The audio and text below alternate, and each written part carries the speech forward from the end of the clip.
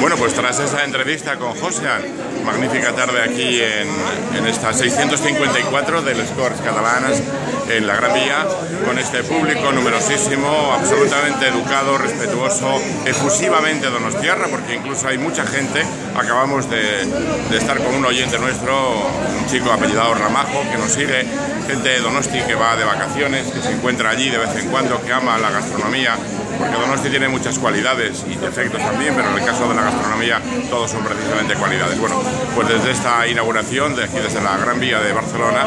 un abrazo, un saludo a todos en un ambiente relajado, distendido, de gente que entiende además de gastronomía, que lo ha demostrado, que ama, como digo, repito, a San Sebastián y a nuestro entorno de tanta densidad de locales gastronómicos